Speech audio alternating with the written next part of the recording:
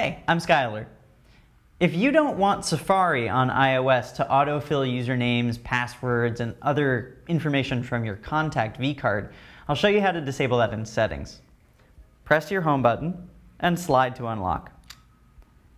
Find Settings and tap to open.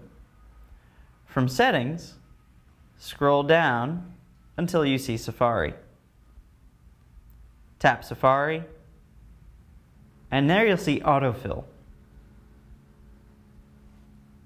If you tap on, it'll switch it off, and now Safari will not autofill your contact info.